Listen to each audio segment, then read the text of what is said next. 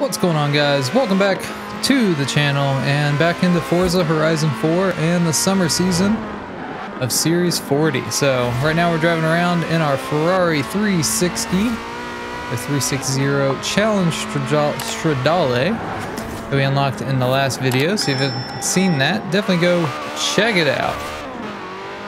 But today we're going to be jumping in and continuing on in the seasonal championships. And we're going to take care of the FF Spotlight Seasonal Championship. This is a road racing series. And you can see the car restriction is B700 and it has to be a front engine, front wheel drive vehicle. So I've got three cars set up and ready to go. We're going to jump down here and start this championship up. All right, so you can see that our reward for this uh, for completing or placing first against highly skilled drivatars is the DS3 Racing from 2011. So let's go ahead and take a look and see what races we've got. Uh, championship. circuit race. In summer. Circuit race, sprint race. Okay. So the circuit race here that we're doing is the festival loop, so it's not even that big of a deal. This is the car that we're getting. So the DS Automobiles DS3 Racing. So I've got it. I don't know that I've ever used it for anything, but the three cars we're going to use are the 2016 Abarth 695 Biposto, the 20 or 2002 Acura RSX Type S, and the 97 Honda Civic Type R. So I think I'm going to jump into the Abarth first, and we'll knock this out and get it into the circuit races. Alright, and like I said, you have to make sure that you're racing against at least highly skilled drivatars in these championships to unlock the car at the end of it. But let's go ahead and jump into the Horizon Festival circuit in our Abarth. Um, we got a nice little sunset paint job here. Um, each of the cars that we use today will have tunes on them. And I will put those share codes up on the screen at the beginning of the races, along with down in the description below there's also a link to a Discord server for the channel in the Discord or in the description below. I don't know how we got that checkpoint. Um, but definitely go check that out. The tunes are on that Discord server as well, and they usually get posted to that Discord server before the videos actually get posted. So if you're impatient like me and you want to check them out a little early, um, you can go join that Discord server and find them there. But the Discord server is going to be used for a few other things. On there, there's different channels for finding other people to play with, whether it be in the trial events, the summer, or the, not the summer, the seasonal playground games, or even if you're just looking for people to play the game with, you can find some, uh, you know, post in there to see if you can find anybody. That Drivatar is trying to take me out. Um, but you can post in there to see if you can find anybody to play with or help out with those challenges. So definitely worthwhile there. Um, I'll mention that I want to do, or I'm going to do, a Forza Horizon 5 giveaway when the game launches on November 9th. And, um, you know, don't have too much details on that right now. I'm going to actually announce the winner of the giveaway on November 8th that way they can get the game preloaded and all that stuff um, to be ready to go for November 9th. Um, but as of right now, the only two requirements, well, I guess there's three technically. Um, you're going to have to be subscribed to the channel. You're going to have to be in the Discord server because I want an easy way to communicate with people. Um, after the giveaway, you can leave if you want. Um, but, you know, I just want an easier way to communicate with the winner. So I think Discord's the easiest way to go. This Abarth is not doing too hot right now. But um, the other requirement is subscribing to the channel. And then I'm going to make one of my videos a video that people will comment a certain phrase or something along those lines on. It'll be the very first video that I post of Horizon 5 because I did order the premium edition, so I will get it um, a few days early er than the actual, you know, normal release of, for the normal edition. So, um, on my very first video of Horizon 5 will be the video that you'll want to keep an eye out for. Um, but definitely get subscribed to the channel if you want to, you know, chance to win Horizon 5. Something I'm also going to do is whenever I get to a thousand subscribers, I'm going to do another giveaway of Horizon 5. So definitely get subscribed if you want to, you know, get closer to that. Um, right now, Social Blade, which is a tool or a website that you can use to like look at, you know, subscriber predictions and stuff like that, um, predicts that I will get to a thousand subscribers around the beginning of December this year, which is awesome. Um, so potentially within two months, we may have two giveaways for Horizon 5 to give back to you guys. So um, definitely get subscribed if you want to stay tuned for those. I mean, two out of a thousand are very good odds, especially when you account that not everybody will actually comment on those videos uh, for the giveaways, and you know your odds are looking real good to win a copy of Horizon 5. So definitely get subscribed if you want to stay tuned for those. But we did win this one. Um, as you can see, we got 20 points on the far right there. We got 20 points for coming in first. And that is something that you should note that you do have to do all three of these races. You don't have to finish first in every single one of these races. You just have to be first at the end of the three races on this championship leaderboard. So we're going to jump into the next event and jump into our next car. All right, here we go into race number two. We're jumping into the Acura RSX. RSX. Um, so we'll see how this does. Is That Abarth really, I mean, it worked. We won. It just seemed like it was just down on power. And I mean, we're in B class, so that could be why. I don't know.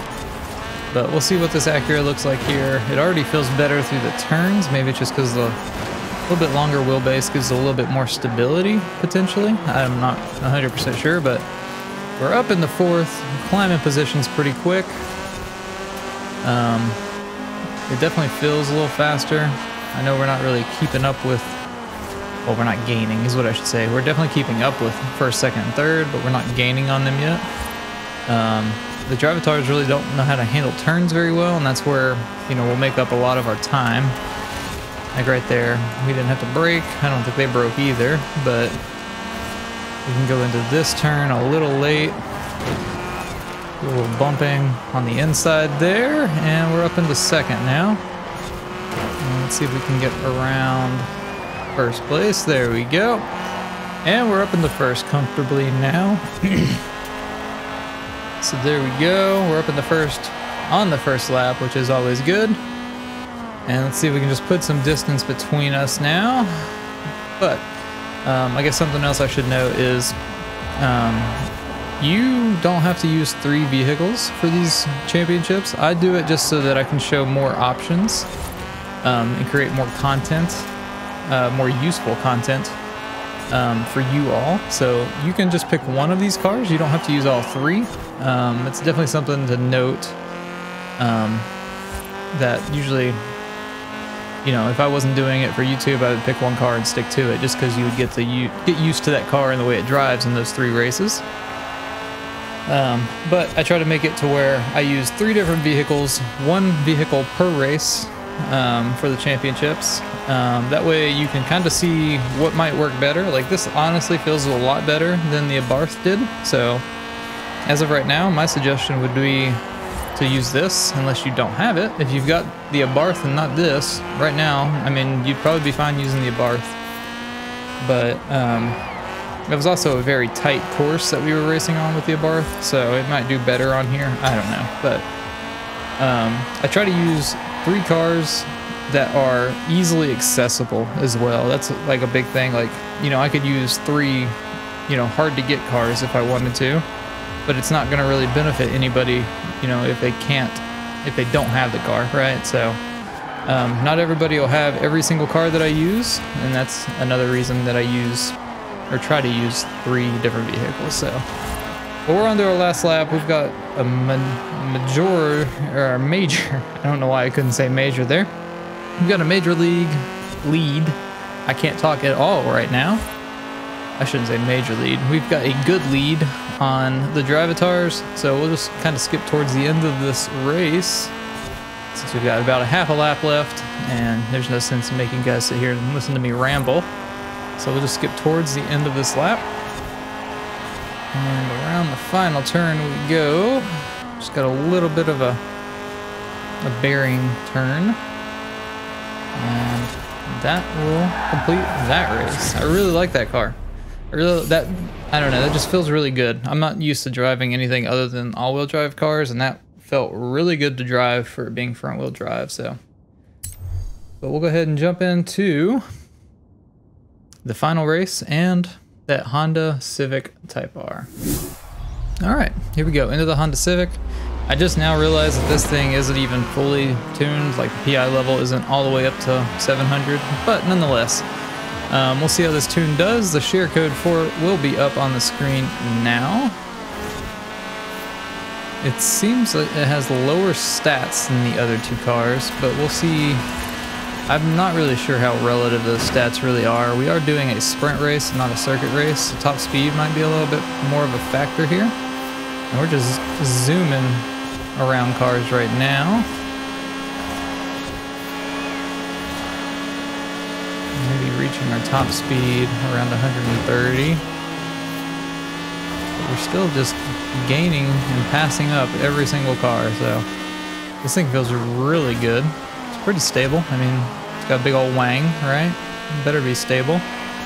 Thing's not just for looks, because if it was, I mean, it's a little gross, but it's definitely not the worst wing, I guess, but um, looking good. We've got up into first, and we've got about, well, what is that? About 7, 75% of the race, well, 60% of the race now to go. And we're just continually pushing forward and trying to gain and increase that lead against the Drivatars. Let's see how it does against this water. They don't seem to be catching up at all, which is fine, which is good. I mean, they shouldn't. We're all front-wheel drive, front engine, so nobody really should go through the water any better unless they've got a little bit higher of a ride. Yeah, I think we'll be fine. We're over halfway now. And got some little turns coming up. We're slowly losing that Drivatar circle in the bottom left on that map. So we're not going to break through that turn. Let's see if we can get through these pretty flat. Got through that one flat enough. We're going to definitely brake for that. Just slightly though. This one will let off a little bit and we're through the turns. The curves. That there has just really helped our lead against the Drivatars because I'm assuming that they're going to brake a lot harder for that. And we are literally zooming, so this is definitely a good option for the sprint race. I'm curious to how this would perform in the, the circuit races. Assuming it would do well enough. So, so my suggestion for this championship, of the cars that I've used at least, um, would be either the Civic or the um, RSX. So, good, good, good options. There we go. So across the line, that's going to get us this total of 60 points. You can see that we are in first on that championship leaderboard, which will get our FF Spotlight complete. And it'll get all three of those stars for us, which in turn will unlock the DS3 Racing car. But there we go. That's how you unlock the DS, the 2011 DS3 Racing car in the summer season of Forza Horizon 4. I hope you guys did enjoy the video or found it helpful. If you did, definitely leave a like on the video. Definitely get subscribed for future Forza Horizon 4 content and those Horizon 5 giveaways.